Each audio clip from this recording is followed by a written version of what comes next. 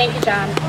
Um, and thank you to everyone who's here today and for all the service that, um, for all of your service. Um, we're just want to announce really quick a program that we're going to be starting. Um, it's called Wills for Warriors Day. This is going to be on um, Wednesday, October 11th. And it's basically a program where we have volunteer attorneys um, coming together. We're going to have the event here, and they will prepare free simple wills for any veterans. Um, also, in case you don't know, in our office uh, we issue marriage licenses, and anytime a um, veteran comes, you will be given a certified copy for free. We don't charge you for that.